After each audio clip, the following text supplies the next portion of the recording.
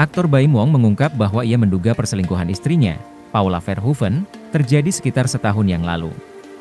Saya juga tidak mau suzon, cuma dari rantai semua itu. Karena ini sudah satu tahun ketidakjujuran itu ada, diucap Baim Wong dalam konferensi pers di kantornya, Jakarta, Selasa, 8 Oktober 2024. Sebenarnya posisi saya itu sulit, saya memang dikhianati sama dua orang terdekat saya, dari pihak perempuan sama laki-laki, yang laki-laki itu teman baik saya sendiri, diimbunya. Pernyataan Baim ini dibenarkan oleh kuasa hukumnya, Fahmi Bahmid, yang memberikan penjelasan lebih detail. Jadi pada intinya, apa yang dikatakan Baim itu sudah berjalan hampir setahun yang lalu, tepatnya November 2023, itu awal, diujar Fahmi.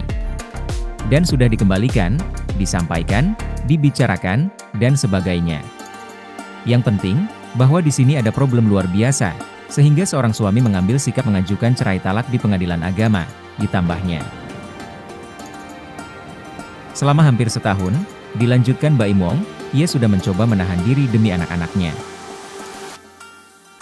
Bahkan, ia mengaku awalnya sempat memaafkan dan memberi beberapa kali kesempatan kepada Paula.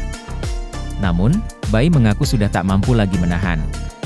Ketika ada di posisi itu berat sekali untuk memaafkan karena, maaf, saya tidak tahu mereka itu ngapain, diucap Bayi Mong.